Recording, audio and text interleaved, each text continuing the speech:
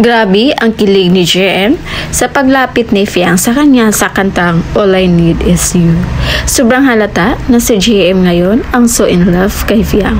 Well, paano hindi kiligin si JM kung i-eye to eye siya ng ganun kaganda? Tiklop si JM kay Fiang. Di napigilan ang sarili na humingi ng oxygen.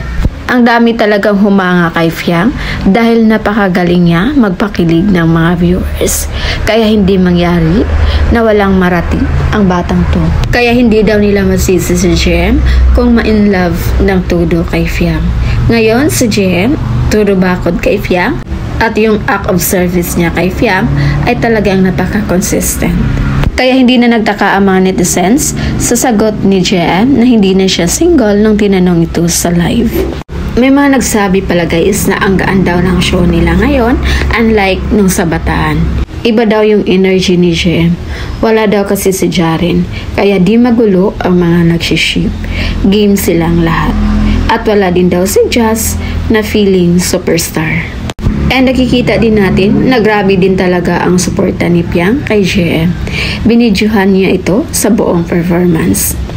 Kaya ito yung maganda sa GM Fiang dahil pareho silang nagsuportahan sa isa't isa at naa-amaze pa din sila sa mga nangyari sa kanila ngayon. So yun muna yung pa-update natin guys and again, this is Will's TV. Thank you for watching. Am really that much?